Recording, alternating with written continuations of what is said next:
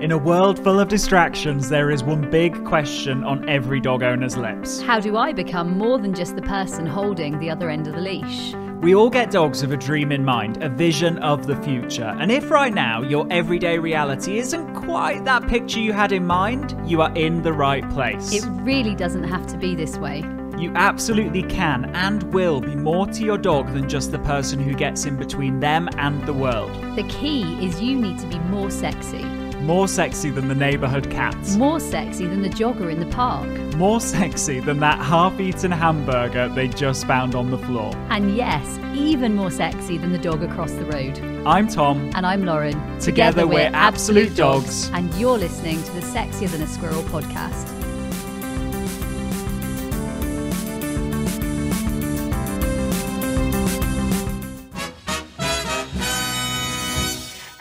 And welcome to a special edition of the Sexier Than a Squirrel podcast, a podcast with a funny name that gets real life change, not just in dogs, but also in people. And I get to play your host. I'm Dan Tower Anderson. I get to play host today.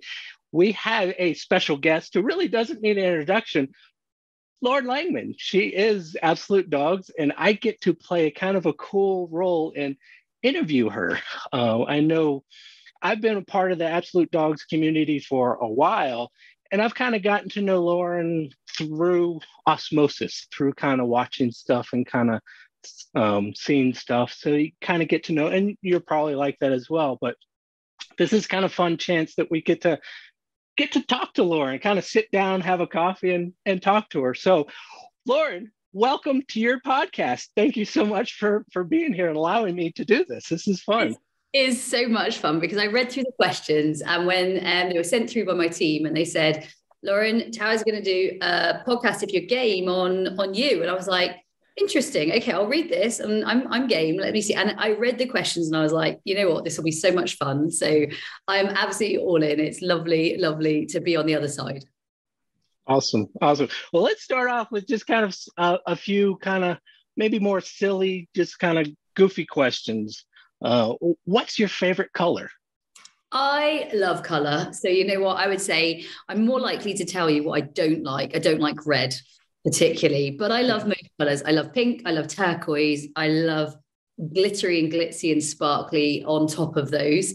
Um, but yeah, pink and turquoise, I love yellow. Uh, I like navy too, weirdly. I do really like navy. So I have lots of favorite colors. I think color is really important. So for me, you've probably seen it with the training center or my clothing or uh, my leggings or like everything is very, very bright and colorful. I, I definitely love, love color.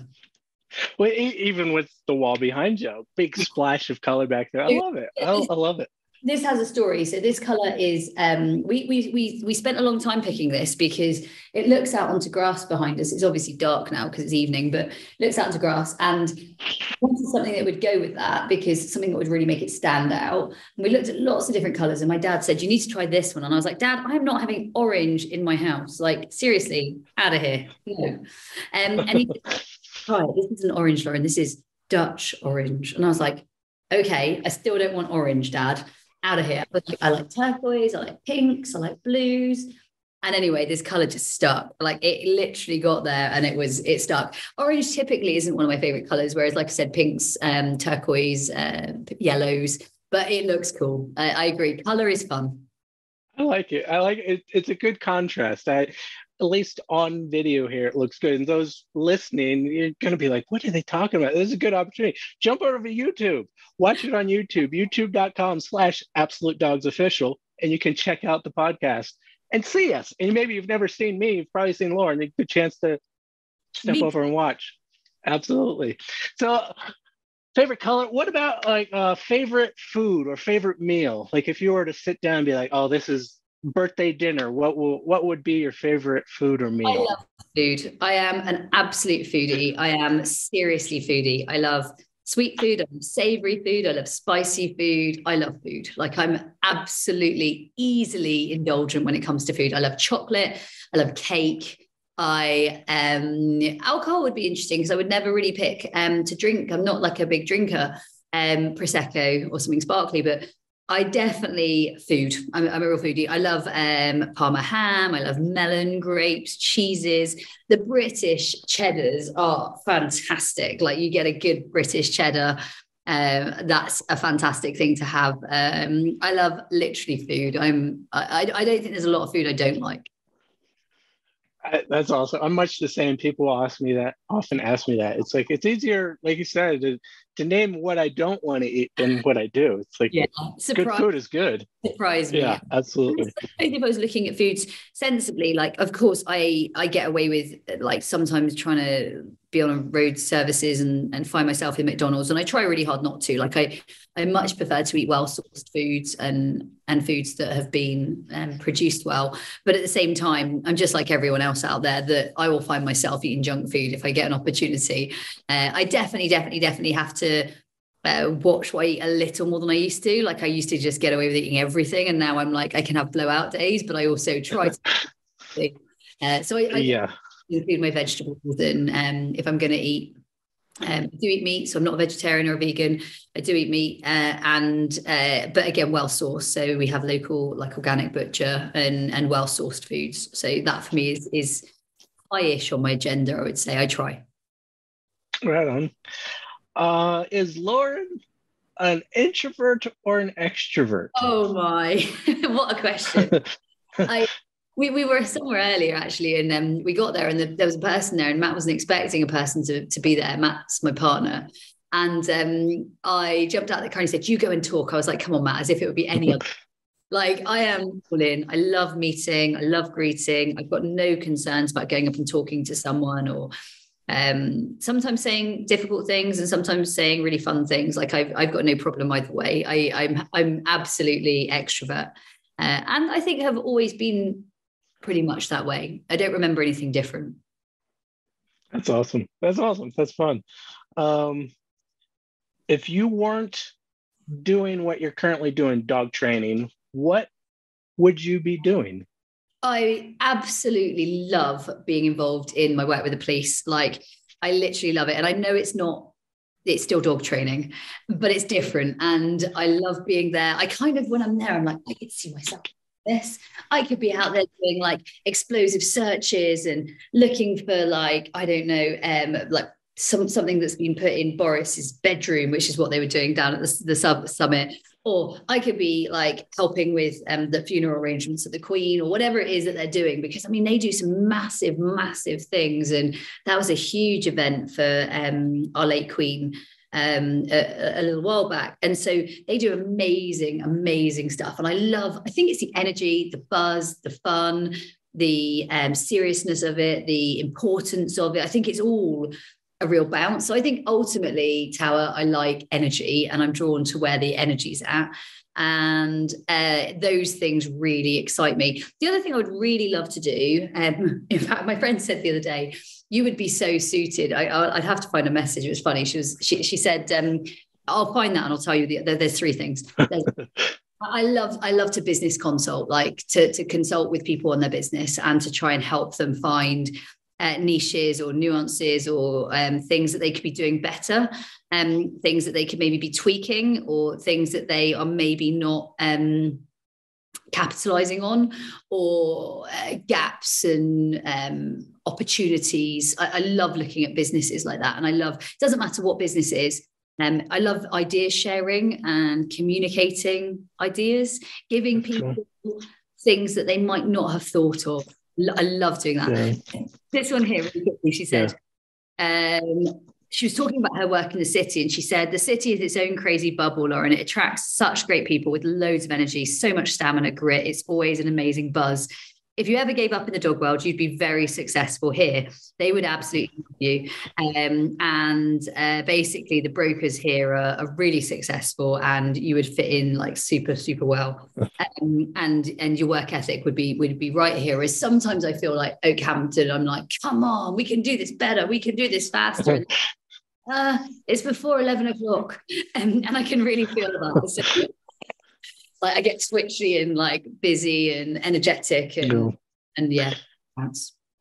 Are you outside of dog sports? Are do you play sports? Do you enjoy sports? Talking the high energy. I love sports myself. So you saying high energy? I think sport. I Are love you a I love, um, I really enjoy being on my bike. At school, I played hockey at sort of um, county level. So I loved hockey. I was always a real, like, I, I loved hockey, netball. Uh, I would say not so much these days. Like, if I'm going to do anything, it's with the dogs. Like, I almost don't see the point in it if the dogs aren't involved.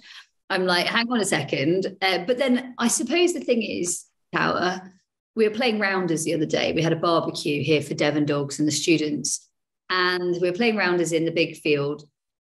Bowerland is magical. It's beautiful. Like it's a really beautiful space. And we were playing rounders and it was all cool. And then I still can't help but get competitive. I'm playing with 10 year olds and I'm still like, I'm gonna win. Like this team is best. Like I think that the, there's a real competitive streak in me. And, and I realized it, you know what, COVID was hard because I didn't realize how much I enjoy being competitive in my my sport, which is agility. So agility really feeds my competitive nature. Um, and that competitive nature has its has its needs met by by playing agility because I get to play with the dogs and I get to um, be measured in some way. And I think that's um, yeah, that's the sporty part for me. I think it's competitive. Yeah, yeah I, I'm I'm competitive as well, so I totally get that. That you're playing with kids, and all of a sudden it's like, no, you still, still gotta win. it's a it's a tough balance. It's it's if I'm into it, I'm into it. Yeah. I won't let you win, but I'm gonna win. yeah, right. Uh, yes, absolutely. I'm gonna be the best at letting you win. Yes. Because I'm gonna win at letting. Yeah. I, yes, absolutely. I feel you. I feel you. Um, a question I get a lot from my clients, so I'm sure you get it a lot directly or indirectly. You and Tom, are you guys married? Are you a couple? What what's the deal with you and Tom? This is the funniest thing. So someone Googled this the other day. Let me just search out. Oh, look. So so if it says Lauren and Tom, let me just look because I want to see what comes. Uh, let's have a look. Um, this is the funniest thing. It came up with uh, so Lauren and Tom, absolute dogs one of the first questions that yes is there. so, so again, this is she's showing a picture. So you got to go to YouTube. Are Tom and Tom Mitchell and Lauren Langman married? That is number so one. there you go. So Google even wants to know what's Which the deal, find, Lauren? I just find this really funny because yeah, that question, like, it makes me feel a bit like no, like dear is wrong. Um, yeah. so, uh, Tom, I see like a, a brother uh, in the sense that like you you kind of giggle, you laugh, and sometimes you poke him a bit, and other times he does that back. And like you definitely, we have a really fun relationship. Um, we definitely uh, can both be really competitive. We can both be uh, really serious. We can both be really funny. We can definitely go head to head in the sense of I think this and I think that. Like we have a lot of fun it's a really um, busy energetic space to work in um, and to play in absolute dogs. The whole team are amazing. Uh, tom and i met as i suppose he came he came with his his dog illy. Illy is an older poodle now and he came with her because he wanted to get her in a new environment and train here um, at the center and he was training and i just said oh my god this would be so much fun. We need to put on camera. He was pulled over by this massive um, massive, massive basset basically, and he was literally pulled to the floor. And I said, "This would be so much fun. We have to put this on camera." And so I suppose I see him like a kid brother in some ways. Like he's he's fun and energetic. And we were on a camera earlier today actually, and we were both dressed in the same sort of gear. And I looked at him and I'm like, "It's like I'm sat next to my brother. Like he is like my brother." And he actually isn't dissimilar to my brother. Um, so yeah, uh, we've been really good friends for a long time. Both Tom and um, myself, we're both uh, engaged separately. So I'm engaged uh, to Matt, and Tom's engaged to Madeline, and so uh, we both have um, relationships outside of Absolute Dogs. Uh, both of our partners are absolutely supportive, and um, we're very, very lucky to be in in great relationships all round. Really, so yeah, no, really fun and. We've known each other since we started Absolute Dogs. We really started pretty much three weeks after meeting we were like really quick to start with. I was like, this is amazing. We need to do it. I know we had the capacity to do it because uh, Matt and I had already sort of obviously we had the training center and um, we'd already done other things like um, a puppy DVD and and things like that. So we kind of knew we could. And I, from there, it's just history. Like really good friends, uh, really great space to work in. Uh, we have an amazing training center where we have studio and um, podcast room, and we're very very lucky. That's awesome because the, the dynamic with you and Tom is is is good. I mean, you guys get along well. Like you say, it's like siblings. It's like it's a fun dynamic. So I think that's where people are like, "There's got to be more to." No, you're just it's really good friends, and you just have a really good. Yeah, there's a lot of energy there, and I think there's quite, yeah. to a degree friendly rivalry as well. I think we both sure. and um, Jocelyn um, give each other enough pushback. We're both probably a lot to take on, as in like both Tom and I are a lot of energy, a lot of buzz, a lot of bounce. We're um, feisty, fairly like quick-witted, I would say, and to put us both in the same space together is a lot. Like it's it's, it's two big extroverts, and I think it worked really really well. And I think that Matt balancing with us as well, that for me really helps. Like he's he's fantastic. Cool. Whoa, you two, slow down. Like people not getting what you're saying here, or when we're working on things like Super Trainer, Matt will be in our ear and say, just recap you two, because you've just gone 20 steps ahead of everyone else. Great to have a bit more. Good having that balance. So talking um, more family, you mentioned a brother. Do you have other actual siblings not just Tom, that's a fake sibling, but yeah, siblings, mom, dad. What's the so what's I, the family dynamic? My little brother, his name is Lloyd, and um, he's a few years younger than me, so he's not really little. Uh, and um, he is he's been a publisher, a writer, and he uh, was during COVID, his his whole model changed. Um, publishing kind of had a bit of a hit, I think, and he decided that he wanted a career change. So he's a he's a school teacher, and he is very very very passionate about what he does he's got two children he lives in brighton and mum and dad live at the farm uh, at Bowerland, and they also live in Plymouth. So um, my dad's had some ill health over the last year or two, so they kind of taken a bit of a step back uh, from living here. Uh, here's a very busy place. Like here is amazing. Bowerland is insanely beautiful, incredibly magical. It's an amazing centre and it's a fantastic place to be. I think for my parents, there's a lot going on here. And so they've yeah. taken a step back. They've kind of almost given themselves a bit of a stopgap and a holding space where they can come here when they want to, but they can also retreat back to somewhere a little calmer because it is calm. But probably when you live here, it's a little bit busier behind the scenes. So I think there's a lot to juggle. Yeah, that's cool that they, yeah, that's nice they have that place that they can get away from it because yeah, if you're in it, it's hard to get away from it because you live there on grounds yeah. in Bowerland that you you and Matt there you're you're there. Yeah, so we so, have. I mean, it's it's an amazing place, and and so mum and dad initially, lots of people might have seen. We bought it through relocation, relocation on television. So we bought it on national TV, Channel Four. You can watch the replay and go back over it. It was amazing, incredible experience. It's funny, isn't it? As you get any older, you sort of look back and you go, I'd love to do all of that again, but I kind of wouldn't because we've got so much here and the sense is amazing and we've got an amazing space. But also, it was so much fun. It was like an incredible experience. My mum and dad and myself all went in on buying a property for a training centre. We sold all our, our mum and dad sold their house, their lifelong sort of savings. I sold my house, which I didn't really have a lot of capital in, to be honest. I had some in it, but not like enough to buy this place. And between the three of us, we pulled together and we took out one massive mortgage, and here we are. And uh, then over the years, have worked really hard, have played reasonably hard, but have worked triply hard. And I think I am quite serious in the sense that I really want to work hard. Like I've always been a real work hard like person. And, and I think that's been a big deal being here. Like you, you do when you live on site, you work really hard because you rarely switch off it. So if I if we switch off, yeah. we do go away.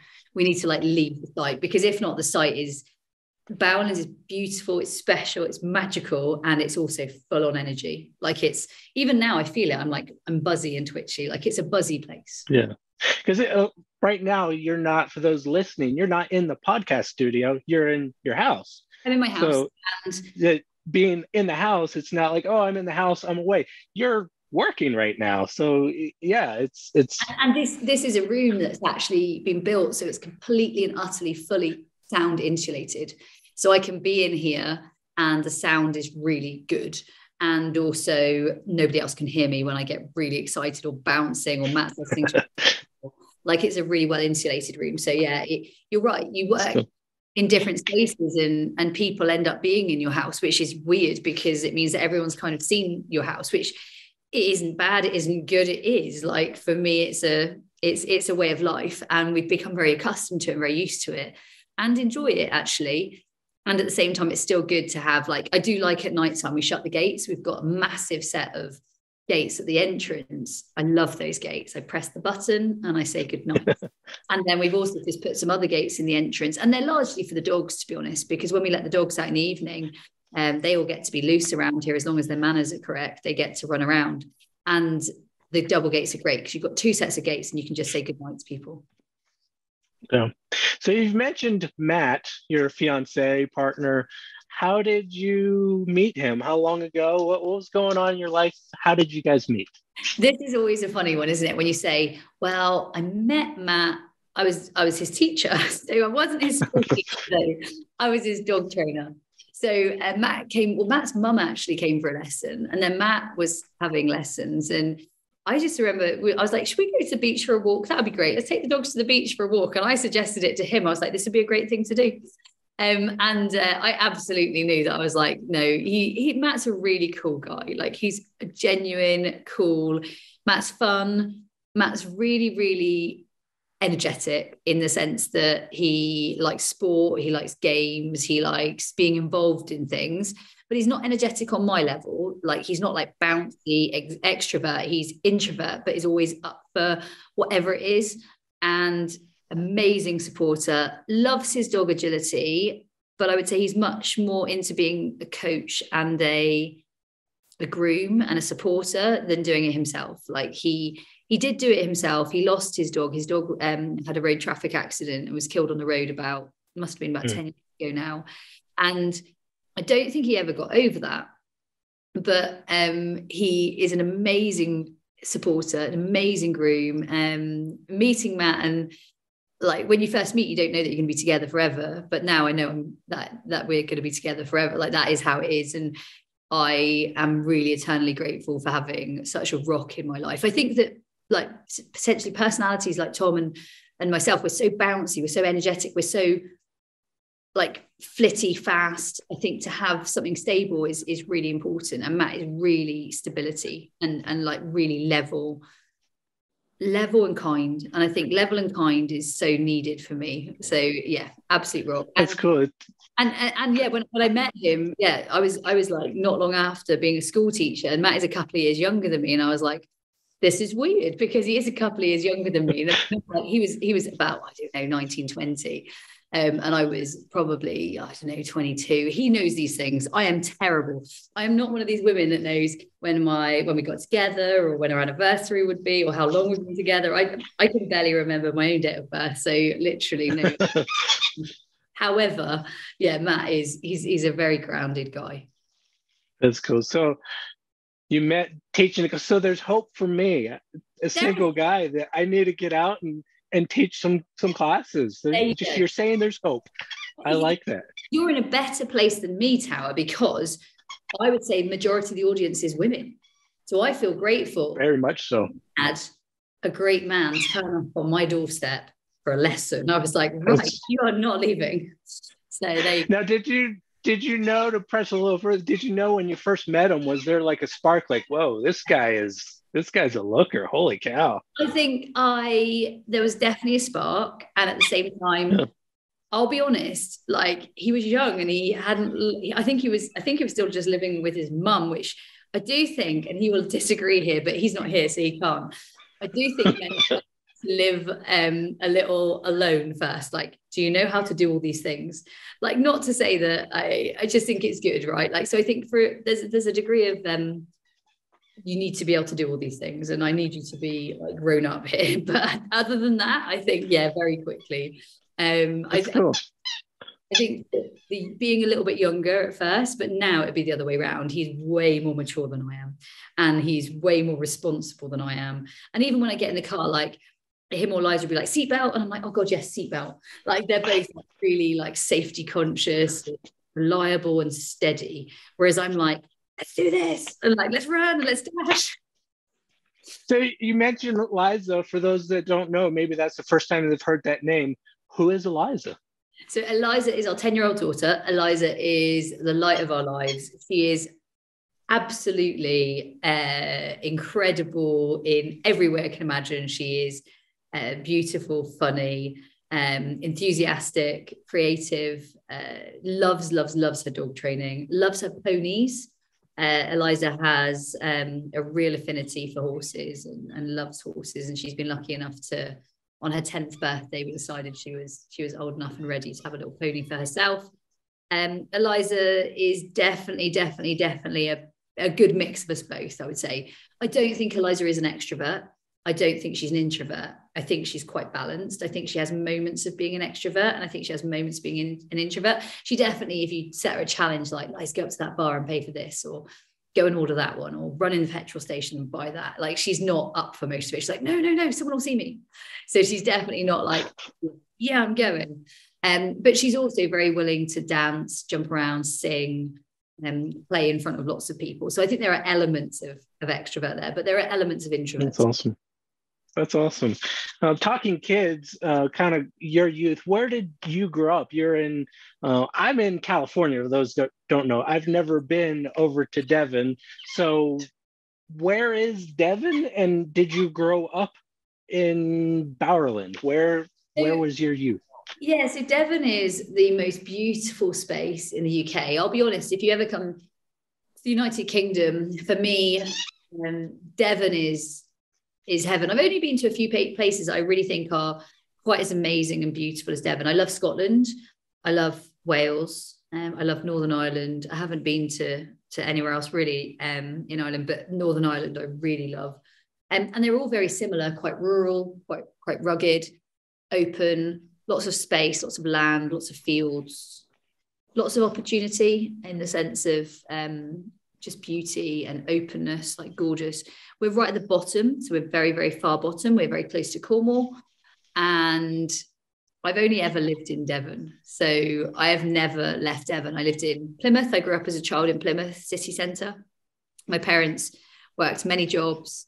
I definitely have not lived like um, the luxury life as a child. We had um, very little and we made do with what we had. And my parents were fantastic and always worked for everything so that we had everything and and they my dad was a carpenter and my mum worked admin jobs pub jobs um, shop jobs um, financial jobs like anything she could do to to make ends meet and would always have multi jobs my dad would work nights and shop fitting and um, then was in theatre for a while um, but yeah i basically grew up in plymouth lived in the city centre all my life on the big, big, big, big, big um, sort of inner city, like tall townhouses.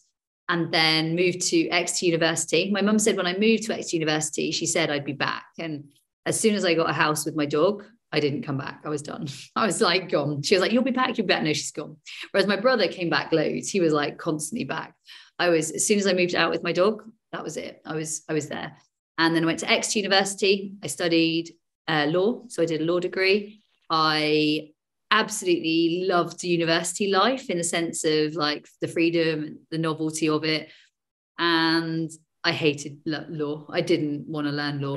the only bit I kind of liked was I like the interrogation of like criminal law and the drama. Like there's a lot of drama, and you'd be like bringing people up from the cells and interviewing them, and that's quite like fun and drama. But actually, as a long term no, it wasn't me. Definitely wasn't me.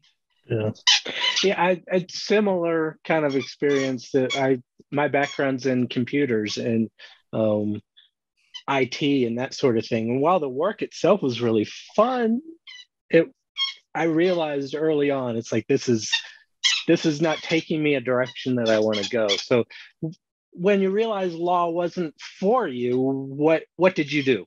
Were you a dog trainer at that time? What was was the next step? I think it was strategic because I kind of went, you know what?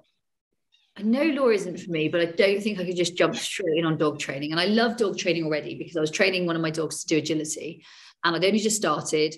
I didn't know a lot about it. So this is like me at like 20. And I started just um, thinking 21. I started thinking, well, what could I do that would enhance this to make me stronger and, and grow and at the same time probably give me some income? And at the time, you were paid to learn to be a teacher. So you could be paid to learn and qualify. So I was like, hang on a second, and not like huge amounts of money. You're talking, I don't know, 5,000, 4,000, 6,000, like not for a year. So it's not like you're earning lots of money, but your qualification was paid for and you were given a bit of a living. So you were given given a small amount of living, which was was great, especially when you've been paying for your degree and degrees in, in learning here is not cheap. So I was like, you know what, I'm going to be a teacher. And I learned to be a teacher and I got my teaching qualification. It's a PGCE, so a postgrad certificate of, ex, uh, of education. And I loved the teaching actually. And I loved working with children.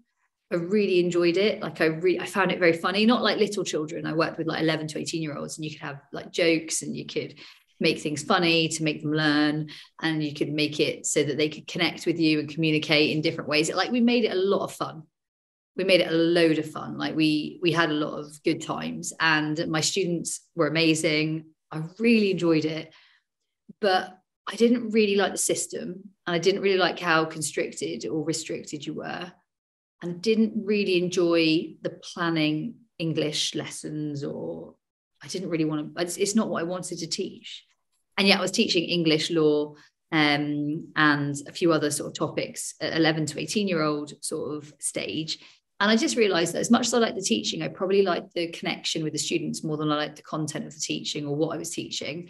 And I really didn't enjoy the the the system. I didn't enjoy the system. And I got out of that pretty quickly, like two years in, and I did not have a job. And I started my side hustle, which was was dog training in the evenings and weekends, just before really. And I just kept running it, and I just kept pushing. And and all of a sudden, it went from me being a teacher to me being a full blown professional dog trainer overnight. And suddenly I had like clients, and I mean, it didn't build up like that quick, but it built up pretty quick. Um, it built pretty fast. I think you, you hit on something there that's really powerful that I think a lot of people gloss over. As you're teaching, you realize there were some things that you really liked, but things you didn't like.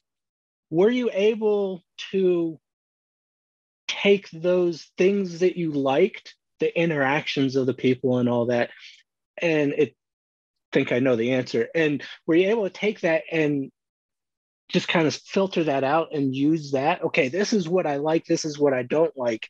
I like dogs. Can I combine the two? Was that intentional in your thought? I guess is the question. Or is it like, I like dogs, I don't like teaching, so I'm yeah. going to do this? So I love the teaching, I love the dogs, I love the connection, and I still do. I love the connection, I love the teaching, I love the dogs. That's and cool. weirdly, I would say, and this is, I had a brilliant coach, brilliant, brilliant coach about 12 years ago, maybe longer, 15 years ago. And he said to me, Lauren, and this was before I was, well, this was when I was kind of starting out. He said to me, Lauren, you need to be really thoughtful here because most people in dog training, they do it because they love dogs.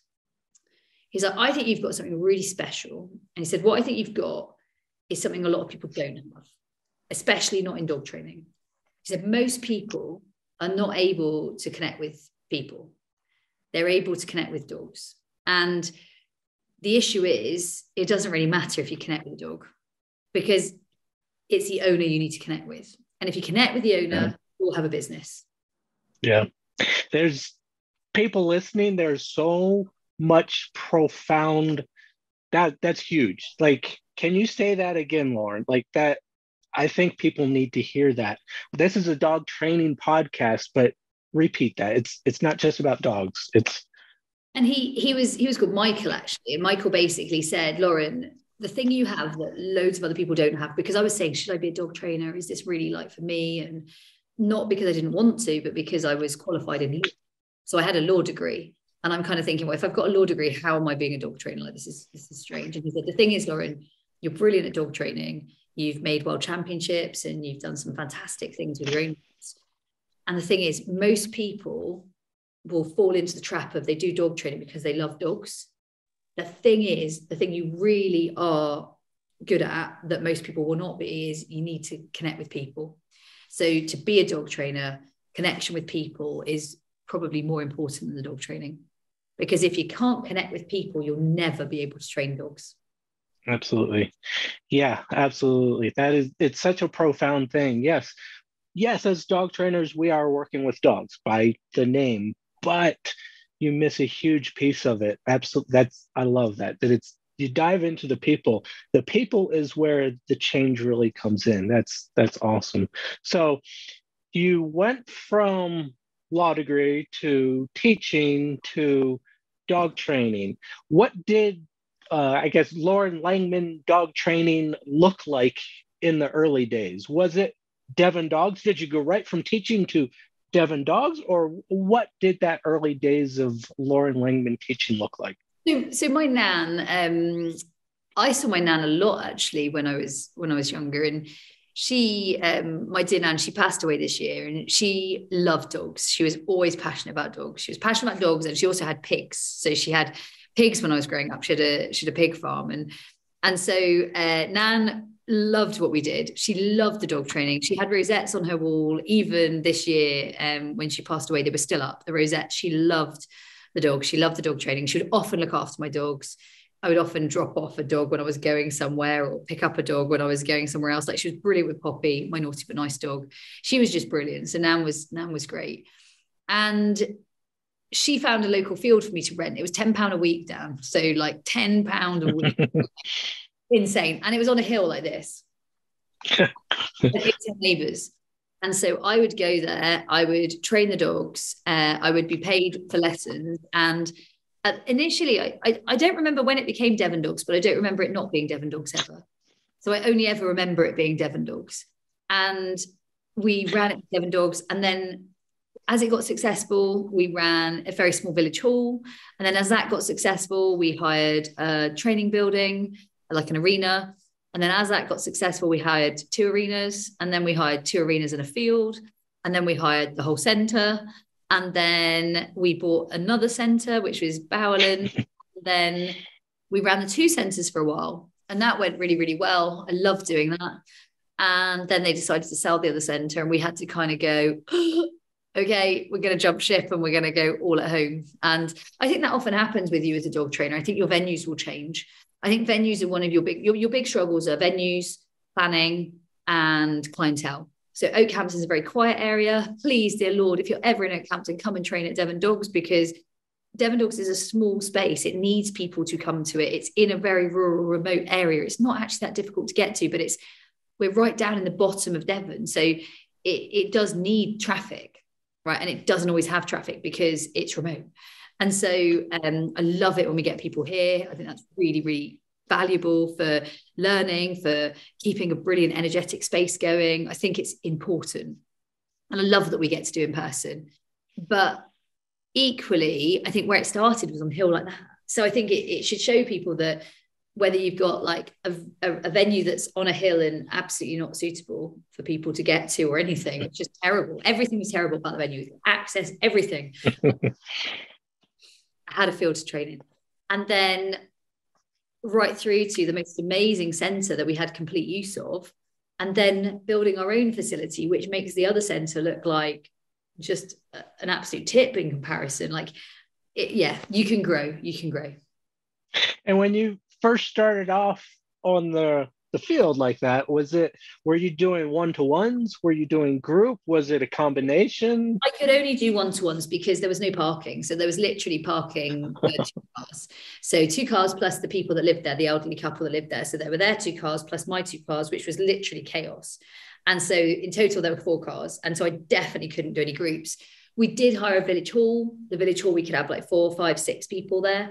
And then we gradually moved to another village hall where we could have 10 people. So, yeah, the village halls were another really good option. And then um, the other place were, uh, was Newhall, which was a fantastic venue. I fell in love with Newhall. And I think Newhall, you could probably have like 30, 40 cars. Like it was really cool. Like it was a, it was a big space. And the name Devon Dogs, you say, is, is is that something you just right away stuck with just, Devon dogs because you're in Devon and you're working with dogs? I think if it was renaming, I would never call it something that relates to an area because it always made me think I can't ever leave. Like I can't ever, you feel a little bit like trapped to your area. However, I'm lucky that I do love Devon. I do wonder some days about sunshine. So uh, I was chatting yesterday. She's Southern California, and then someone the day before, and she's also Southern California. And I was like, "You guys, out of here! Get out of here, all of you Californians!" Um, I do really love Devon, and I love it slightly more in the summer than the winter. I won't lie. I'm not a massive winter fan. Uh, I love the summer. I'm I'm sunshine and waves, and that's what I love. Um, we're right next to beaches. We're beautifully coastal. We're gorgeously moorland. Like it's a beautiful space. However, I would also say that um, yeah, Devon Dogs is not the smartest move because you just can't ever move your business easily because it's linked to an area. Uh, and so uh, Devon Dogs, I love Devon. I love dogs. I like the DD element. I like alliteration in in things. So that's it was very easy. And speaking of names, the name Bowerland, where did that come from? So it was named. I actually have not looked, and I probably should. Um, also, if people ask me directions to anywhere around here, I know nothing because I literally just rely. so um, I'm terrible at like getting on with where I am and forgetting to like look into things I possibly should. But yeah, it's it's the whole the road. The road is is Bowerland Cross. There is uh, about four properties down from us, and then our property is the first one that you come to. So we're the first property, and then the others go past and carry on going. Um, and we didn't name it, so they're already named. Uh, you can rename properties actually. Uh, we've got a really lovely cottage. Uh, it's part of Bowerland Cottages, and it's called Parsley Cottage. And I love that name. And someone said, "Oh, would you change the name?" And I was like, "No, no, no. Like I love the name Parsley Cottage. Bowerland, I'm not so attached to. I mean, I am the place, but not the name." But but um but yeah, it's it's definitely a location name. And okay yeah, it's, it's pretty. Parsley Cottage is really pretty name. I love that name. I like it. So let's shift gears a little bit. It's a dog podcast. You have dogs. How many dogs do you have? Does Matt have his own dogs? Does oh, Liza that, have her own dogs? Have, let's talk dogs. That would be telling. Uh, dogs uh, wise, uh, we have enough dogs, and I definitely have a dog. And the biggest thing for me is uh, with our dogs is that uh, uh, so Liza definitely has her own dog. Eliza's dog is is Katie.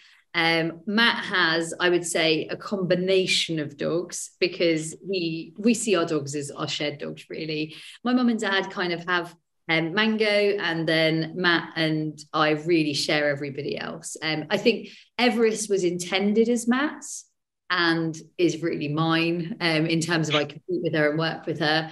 Um, easy Matt was going to run. Uh, I still work her and compete her.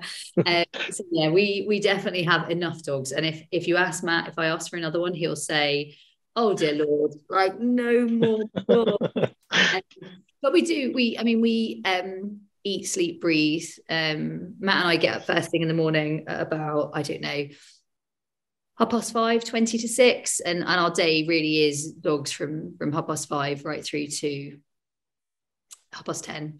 Uh, dogs are definitely our lives and they make our lives whole and they are our whole life. So mentioned you get up um, early. Is all your day focused on your dogs? How does that look? Because if you run a business, you've got to be able to work Absolute Dogs, Bowerland. Yeah. So is then is it Matt taking care of the dogs? Do you have other people I'm working really, with your dogs? really lucky. We have a brilliant team. So I have trainers on site. They will work with me. They will work with students. They will work with my dogs. They will work with their dogs. They're fantastic.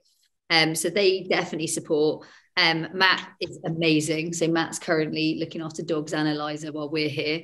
Um, and then I've also got, for example, um, things like um, general day to day, like walking, exercising. We've got an underwater treadmill. We've got a hydrotherapy pool here. We've also got team that work on those, so they can do those. So my dogs are able to join in on any of the activities depending on what we want and where we want it. So this evening, Everest, Venture, and Classic have all been on the treadmill. Um, yesterday, uh, between nine and three, uh, I had my physio in and she just comes in and she has a list of dogs to work with and she'll just literally work through Um, she can do about she about she does about a dog every 45, 55 minutes, depends on the dog and what they need. So we're really lucky. I think we're very good with having a team. Um, I definitely um, don't know where I'd be without a team. When I'm away, I tend to be able to leave my dogs at home. Mum and dad are at home, and then I've got someone that will come in and support and help as well. So with feeding or um, whatever we're doing. And for example, when I'm away, I'll fill a load of bones, and I'll be like, "That's the size that Blink's allowed. That's the size allowed," because realistically, we we are away back and forth, and then I want to come straight back and know they're ready to compete. So I can't have them getting really heavy or really light. They need to be pretty fit. But we're very lucky. The center is amazing. And, and this is the thing, like every now and again you think, like, would you ever live anywhere else? Like everyone must think that.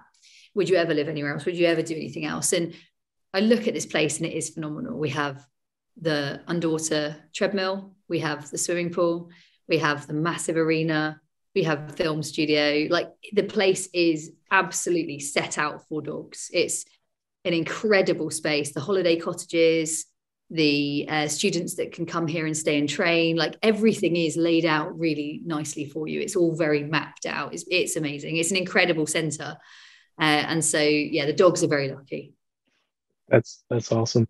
Do all of your dogs compete in some form or another Really good question. Um, so no, they don't actually, and um, I think that, for example, um, Eliza's little dog Katie, I've actively encouraged her not to because I think that there's a lot that the competitive world brings. And also, I do think for Eliza, focusing on the dog training and the dog in front of you without the pressure of people around you is quite important. And I also think that relationships number one, and I don't think that relationship's ready for that pressure. And I think competition is a lot of pressure. Um, and then uh, the majority of, of, my dogs do compete. And then obviously we've got Nifty. She's under. Um, she's she's she's just about a year. She's too young, so she wouldn't be doing anything right now. And then um, mum and dad have Mango most of the time um, over over at theirs, and she's definitely not a competition dog. She broke her leg as a young dog, so her dog would her leg would never take the strain of that. Um, and so we wouldn't put her through it either. But I would say, yeah, the majority of our dogs compete. Um, obviously, when they get elderly, if they need to retire, don't tell Blink. She is just about nine years old, and at some point there'll be retirement in her future. Um, she does not see it that way. Um, but yeah, the majority of our dogs do compete. And if we ever had to retire for any reason, I don't actually think my dogs would care if they competed or not. I think the biggest thing they love is they love to play, they love to work, they love to swim, um, but they don't actually care what it is. People get really hooked on my dog absolutely loves agility. And I'm like, they do like agility, but I do think they wouldn't care as long as they had your time. So speaking agility, have you always done, or I guess maybe more important or more poignant question, when did you start agility? Have you done other dog sports, obedience, rally, Schutzhund? Has it always been agility? What got you into agility? Yeah, so I've, I've been really lucky. Again, I've had a brilliant, um, I was going to try and show you a, a video, which I know obviously everyone will have to go onto YouTube again to find, but I'll see if I can find it. Um, I've I've I've had a really well-rounded um dog um like life really. I I've got um things like uh brave doing doing heel work on here and training sort of really nice sort of obedience level sort of like like lovely lovely lovely movement and trotting and heel work that was brave before her accident i've played um i've played at schutzhund um and uh, a level of i suppose um yeah bite work but not necessarily ever seriously more um more uh his brave doing. You're gonna get some bark on so brave doing some and then that's cool. So that's cool. So, and so for those listening go to youtube.com slash absolute dogs official. Check out this video because you'll be able to see the videos that lauren's showing this yeah, is more interactive that's awesome. And that's brave again. Language.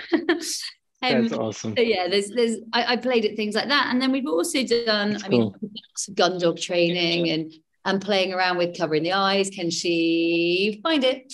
Um, so we've we've had we've cool. joyful upbringing in dog training and um, gun dog, um, obedience, uh, bite work. Um, he works music. I think I've at flyball. I have never played at rally, but I definitely know that it's another game, and I know that games work. So I'm I'm pleased that people yeah. play. I've always been involved in agility since I can remember. Probably started it when I was about 17. So for me, a long time. And I started jumping dogs when I was like nine. Like whenever I could make a dog jump, I wanted to make a dog jump. I made my hamster jump. I had pet rats, they jumped. I literally made every animal I could find. like I like making animals jump. I've always liked making animals jump. It's in my blood, it's in my bones to want to make animals jump. That's awesome. That's awesome. It's a unique skill jumping animals that's awesome i don't know where it's come from i just love making animals uh, make beautiful movements over shape and i suppose helping and encouraging and and conditioning that's it fun conditioning. I think it's really cool that uh, what i'm hearing hopefully i imagine people listening are going to get things out of it themselves but it, everybody has their certain likes and dislikes even as you're talking teaching school like you like certain things you didn't like certain things. And i think the big key in success is finding what you like and really kind of honing that. Like you love animals jumping like that's a very unique subset of and training the funny thing is if you i can imagine i've never asked them but people i went to school with or the guys I went to uni with. Like I, I am not the best at keeping in touch and I'm not the best at, I'm just not. But I bet if you asked any of my friends from when I was back at school or any of the people I went to university with, I bet all of these tendencies were there. I bet they would have spotted them. I bet they would have known them. I bet they could have almost written this. And I bet when they see Facebook videos and, and stuff like this, they'd be like, yeah, she was always, uh, that was always her.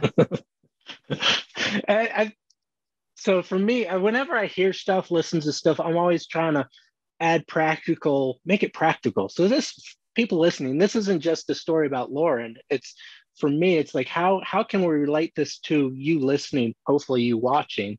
Uh, what I'm hearing is find out what lights you up. Is it making dogs jump? Is it making dogs lay down? Is it something totally different? What lights you up? How can you put your mark on that is it something totally different? Is it something that everybody's doing but you do it different? Is it something that nobody's doing but you can do it different? What is that? Start asking different questions. I know i've mentioned it before in previous podcasts about our dogs. Ask different questions you get different answers. Do that with yourself. Ask different questions. Maybe ask your friends. Lauren just mentioned it um, in talking oh i'm sure her friends would recognize this stuff. So maybe talk to your family talk to your friends what do you see that i'm doing with dogs? Figure out what that niche is. Whether you want to do this as a job or whether you just have fun. You're listening to this podcast because you like dogs to some degree. What can you do more with it? Figure out where is your mark? What is your special? It might not be opening up amazing center like lauren has. It might not be in a pro dog trainer like me. It could be something just specific with your dog. Is it teaching your dog how to jump is it teaching your dog how to lay down is it teaching your dog to be a nice dog figure that out and i, I that's what I, am hearing Lauren talk, and I hear practical application for me. So I don't want to miss that and just breeze over that for those that are listening. Make this real. This is not just Lauren's story. Yes, we're talking Lauren. Um, mine would probably be similar but different. But find your niche. What is it that your lights you up? What is it? And make that yours. Run with it. Um, is it agility? Is it is it rally? Is it again? Is it just having a well-behaved dog? And other people are like, "Dang, you got a well-behaved dog." And I don't know. It, it's a very personal, intimate question. So um, I encourage you as as you listen to this podcast, what lights you up? Is it something that Lauren said that's like, "Oh, want to try that. Is it something that I've said that's like, oh, that's cool? I don't know. And it's very personal to you. So as you're listening to this, make it yours. Um, kind of transition to that that talking lauren has this amazing center amazing uh, facility and, and job um, it's you and tom how did how did absolute dogs really come about? Because we we talked about you going from law to teaching to dog teaching and Devon dogs kind of springing from that. Was Tom always a part of it? You guys are like brother sister. So did you guys grow up together and did you guys just develop this absolute dogs? How did absolute dogs come about? Yeah, I literally did not meet Tom until the day he came here for training. So he came here for training. He brought his dog Illy along to a new environment to train here. And um, he must have um, booked via Devon Dogs, heard of Devon Dogs because it was possibly local. And Tom at the time lived in Bristol, I think. And um, he, was, he was still studying. And he brought his black poodle down here and she did really well. She was a lovely, lovely dog in the group. And I remember just thinking how funny it would be because there was so much good energy and there was so much fun to be had. And I was like, you know what? The world needs to see this. The world needs this amount of fun. Like I, I remember shouting it out and like being like, Tom, we should do this. Like we should do this. This would be incredible. Like we must do this. And that was it really. I said to Matt, Matt, there's this guy I met at training. Matt must have been like, okay. One thing I'd say with Matt is he's he's always been great about stuff like that. He's never like the jealous or the the odd type with that. He's just really cool. He's really cool. He's like, okay, tell me more. I'm like, honestly, Matt, you'd love him. Like, he's brilliant. And he was like, okay, tell me more. And I was like, we need to do cameras. We need to do this thing. I don't know what it's going to be. And anyway, we didn't really know what it was. We just met up a few times and kept chatting on it. And then I was in Bermuda. I was teaching, which sounds crazy, but I was teaching. And I took Matt with me, and Matt was teaching too. Um, and Matt was teaching on dress, and I was teaching because I loved it. Matt was teaching because I told him he needed to. And, and while we were out there, I said, what, what will it take to get us like put something like together? I want to do some sort of like academy type thing.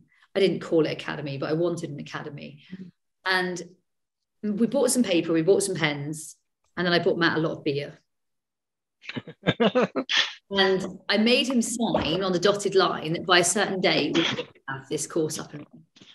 And if not, then he'd broken his contract with me. And so I literally plowed him with so much beer that by the end of it, he'd agreed to do this academy. And the academy was born initially because I think what I knew best was agility, and Tom and I didn't really know which direction we were going in. It was largely agility and sports based. So, is this the academy? Was this just you and Matt, or was this you, Matt, and no, Tom? Me, Matt, and Tom. But I had to get Matt to kind of agree because okay. he was the guy that would film it, edit it, make it all happen, and do all the tech to make it all happen. And I knew that Tom and I probably wouldn't. And so I knew I certainly wouldn't. And, and Tom and Matt are both really brilliantly techie. Like they're both great at being techie. And so off we went. We created the training academy. We've never looked back. The training academy is an amazing space. It's for sure had revamps. It's for sure had like different ways of thinking it. But yeah, we started the training academy. How long ago was that? That's got to be, I mean, I'd have to look, but it's got to be coming up for 10 years. Okay. Wow. We need to do like a 10 year celebration or something. Like I'm not sure if it's 23 or 24, but it's definitely coming okay. up mm-hmm. 10 years. So that that's cool. It tower. Let's do it. So that's so you met Tom. He get again, what I'm hearing is that good things happen when you're a trainer. So I I can I could possibly meet my significant other and I could meet a partner for business. This I'm liking this. Okay, this is this is good. Uh, so you met Tom, and immediately it sounds like you guys were buddies right from the start. That I mean, like I feel like I've always known Tom. I feel like cool. we have had a lot of fun, um, and I feel like it's a really it's a really cool space to work in. Like it's very it's very creative. It's a very creative space to work in. It's a nice space to work in. It's cool. It comes across in your content. Um, it comes across with absolute dogs. It just exudes that fun that creativity and that obviously comes from you and tom and that that dynamic with you guys. So that's that's kind of fun to hear that um, you guys met and just kind of worked and that's cool and, and then having the behind the scenes that i'm very much a kind of a guy i know we, we talked a little before i love kind of behind the scenes and knowing how things work. And that was kind of the idea with this podcast, behind the scenes of of Lauren and get to know Lauren and just who and what she is and how this works. And and leading up to Absolute Dogs, I would love to do one with Tom and get to know who is Tom and, and do a little more um, absolute dog stuff and that sort of thing. I, I love this. This is um, this has been fun for me and hopefully fun for those listening and and hopefully you're watching. I've dropped the YouTube cue enough. Hopefully youtube.com slash absolute dogs official. You've done yeah. well at that, Sarah, for sure. So hopefully, um, is there what what is next? Do you even know what is next for for Lauren? I think that's a really cool thing, isn't it? I think more fun, more adventure. Since my dad's um, cancer diagnosis, I have definitely taken more time out for having fun and having adventures. Um, whether that be um, Matt and I are going on a safari really soon, um, or a mini one, um, and uh, we've got some adventures in like Thailand and, and other places, and and I really think more adventure, more fun. Like when we get time, we spend like weeks away with Eliza and go horse riding or um, looking at history or looking in like I don't know we've recently been I said already like Northern Ireland and looking in the jails and the history of Belfast and like really trying hard to enjoy more experiences. Like we we need less stuff we need more experiences. We need less physical we need more memory. Like I, I genuinely believe that the world can quickly get very materialistic and I believe number one for for all of us should be um, amazing connection and memories, like making making connections. I guess one final question. Um, though knowing us will probably lead to 10 more questions. Um, when you started back in, uh, I guess, leaving teaching and you started in your field on a hill, did you ever imagine that you would be kind of literally reaching around the world with your impact and that what you were doing would do what it is now? I never saw this coming at the level that it's at. I never like strategically planned this or mapped this out. Like all I did was enjoyed what I was doing and had a lot of fun, took opportunities, enjoyed the people I taught, listened to what they said and, and took on board advice and surrounding myself with really great people. And the more that I've done that, and the more that I've I've said yes to the things I really enjoy, and I've said no to the people, to be honest, I don't. And I think it's it's taken us a heck of a long way. Not being too easily offended, not being like trying not to have a chip on your shoulder, uh, trying to be humble, grateful, um, open, like I said, to opportunity and open minded, not judgy, and most of all, ready for whatever might come, ready to pivot. I think pivot is the word since um, for us, Absolute Dogs changed gears during COVID and we were so ready to pivot. And I think being ready to pivot is the single most useful thing that I can share. I, I never saw this coming and yet I was always ready for it. That's cool. That's cool. We were chatting, texting the other day, and you were talking to me about pivoting, and it's it's working. Um, it's it's kind of fun. You get in sometimes stuck in a groove, right? Whatever, um, and it's thinking differently. Ask different questions, you get different answers. I don't care what subject you're talking about. Um, well, I gotta say, this has been an absolute blast for me, and I hopefully for you and you listening. I hope you've gotten to know Lauren just a little bit better, the heart and soul of Absolute Dogs. Uh, this is this has truly been fun. Uh, Lauren, thank you so much for allowing me to to be a part of this, to kind of sit down and have a chat with you. Thank you for um, letting me into your house via Zoom. Um, this is this has absolutely been a blast. Um, yeah, hopefully we can continue and do more. And yeah, I like this. Um, yeah. It's been fun. It's been so fun. Now, obviously that was this episode of the podcast. Thank you tower loads for uh, having me. Uh, i feel really uh, that was a great pleasure. I'm just going to outro with and remember stay sexy. Hey, before you go, have you taken part in the worldwide Sexier Than a Squirrel challenge? It's a 25 day online video program, huge energy, amazing community, and over 100,000 people are already taking part. The only question is, you know where you are today. Where do you want to be in 25 days from now? Head to absolutedogs.me forward slash sexy.